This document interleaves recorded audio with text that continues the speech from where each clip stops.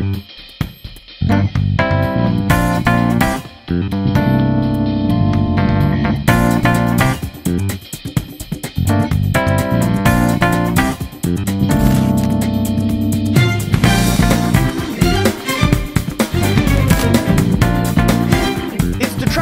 an overhyped dating sim with Pokemon elements, and its fans call it a meaningful and epic set of stories that dive into the hearts and minds of those who are experiencing growing up in a world that is consistently spinning out of control. I'm Michael Jor, and this is Niche Gamers Video Review Supplemental for Persona 5. Persona 5 has to be the best visual experience that I've had in video games, period. It is almost unreal just how well this game is presented to the player. Even after 160 hours of playtime, the game visuals are still refreshing and brilliant. Every visual aspect of this game is amazingly tuned and well crafted. It would be nearly impossible to find a game that does it better. One of the best examples of this is how a typical battle is laid out for the player visually. Animations, characters, enemy models, the battle menu, the way that it's laid out, the designs, the dances, even your final finishing blow, if you can pull one off, all have a visual flair that a lot of games cannot even hold a candle to.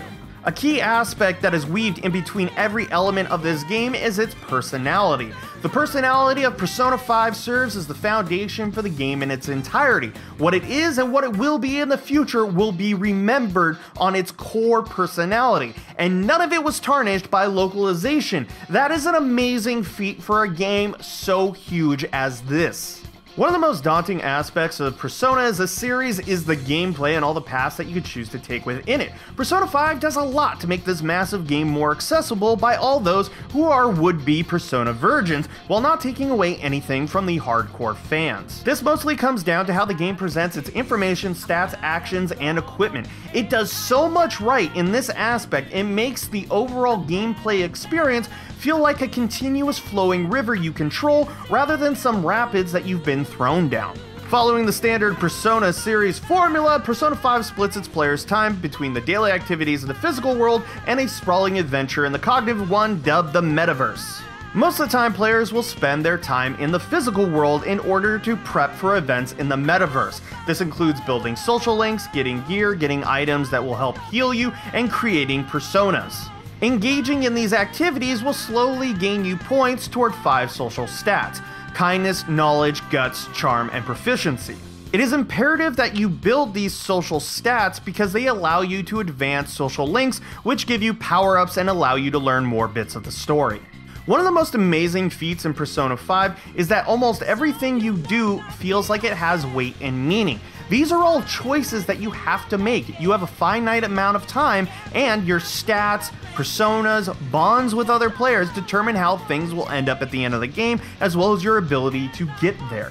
One of the most gratifying and rewarding experience in the game is the combat. It brings a mix of style and substance that most RPGs can't even bring to the table. While being very classic and simple in nature, the ability to juggle your opponents, preventing them from even landing a hit, is amazing and fun.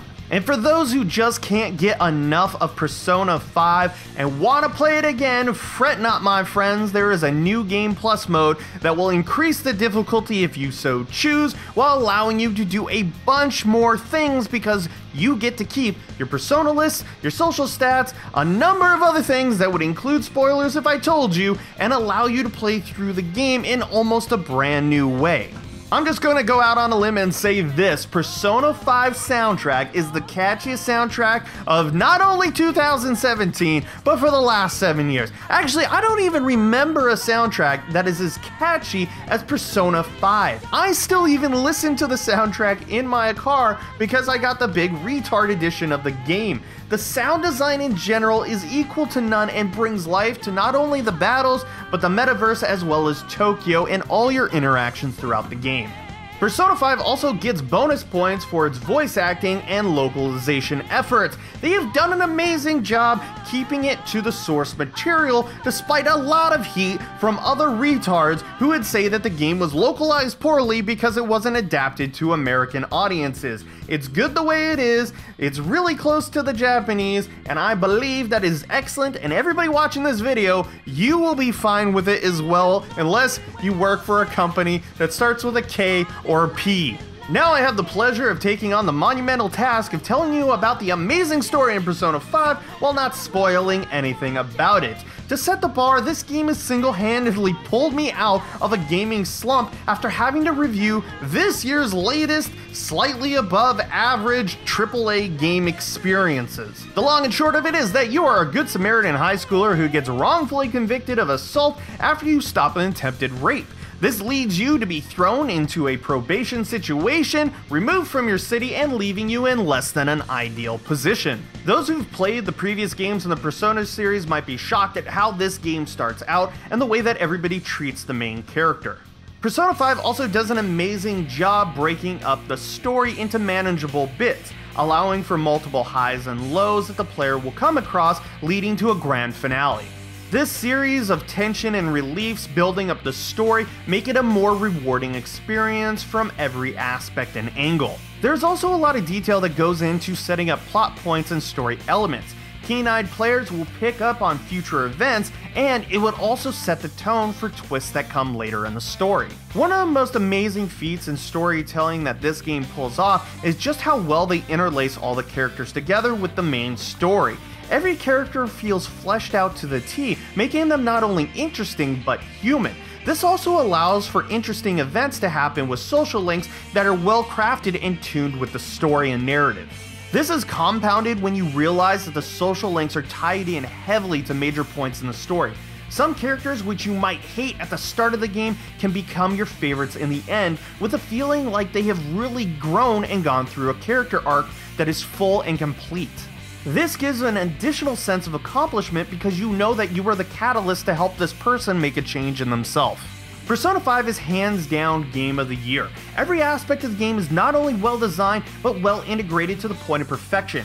I've yet to see a game in my lifetime that has done it as well as Persona 5. We almost always see that the story is a boat to float the gameplay, or the gameplay as the vehicle in which to drive the story forward in video games, which neither is the case here. Persona 5 opts to be a spaceship where every member of the crew is highly skilled and pulling their own weight in order to take the player to another world. Beautiful and masterfully executed, it is not a question of whether you should buy the game, it is a question of why you haven't bought the game yet. You will not get a better RPG gaming experience for quite some time, so do yourself a favor and pick this one up.